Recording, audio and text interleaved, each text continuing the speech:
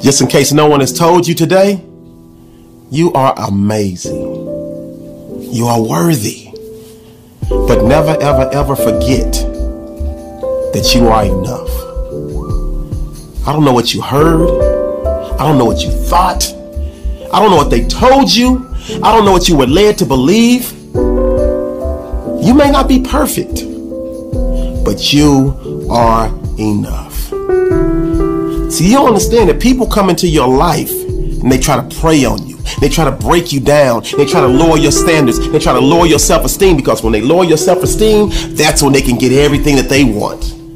See, they're trying to win and they want you to lose. They want you to feel like you are less than. So let's do the simple math here. And starting today, when somebody comes into your life and their mission is to make you feel less than, I need you to subtract them from your equation.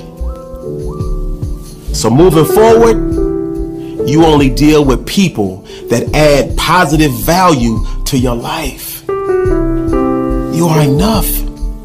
You are worthy. So stop acting so thirsty. You don't need him. You don't need her.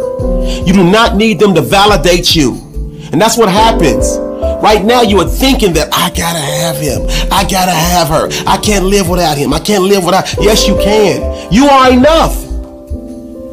And if they're not treating you the way you deserve to be treated, like a king or a queen, it's simple. They gotta go.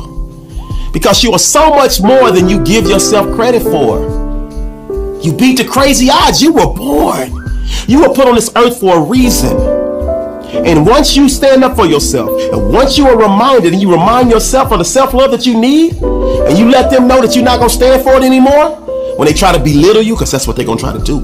They're going to try to make you feel less than. You stand up for yourself. And when they walk out that door, they're going to leave the door open. So the right person can walk right back in. The person that's for you. The person that knows you're imperfectly perfect but loves it. Person that allows you to be you. They love you with all your flaws, with all your scars, with all your baggage, with all your wounds The person that was sent to help you heal. The person that understands that you are enough.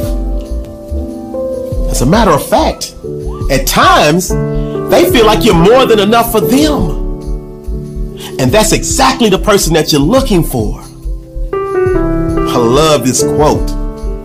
It says, Never dilute yourself for any person or any reason.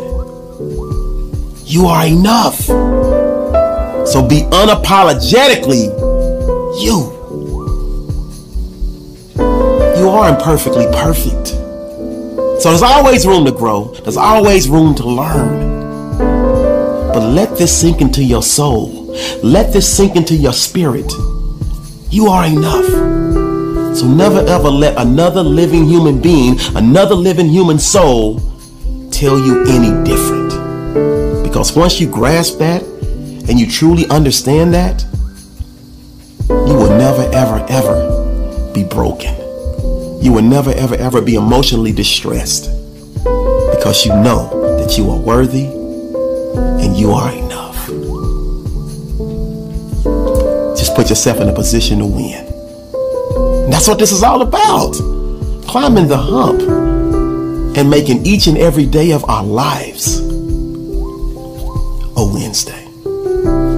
You are enough.